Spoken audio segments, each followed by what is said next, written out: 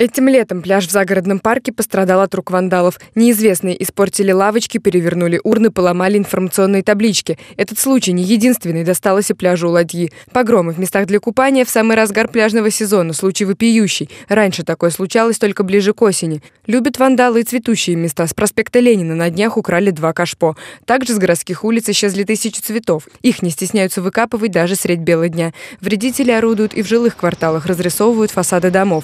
Все это добавляет добавляет хлопот городским службам. Мы со своей стороны боремся, как э, при выявлении, просто стараемся сразу все это закрашивать.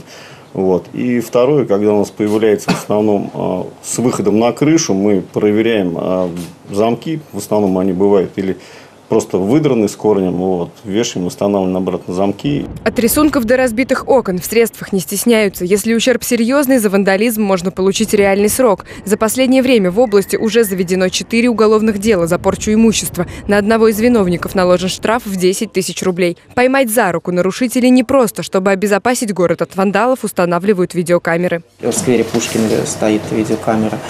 Э, в ряде других скверов тоже они есть. Ну и э, если мы берем набережную, то там тоже осуществляется патрулирование полиции с представителями добровольной дружины.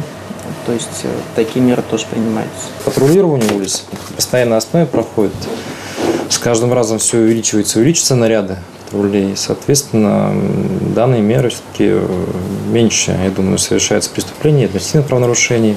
Следить за красотой Самары городские службы призывают и жителей вандалов снимать на фото или сразу обращаться в полицию. И, конечно, самим бережно относиться к городскому имуществу.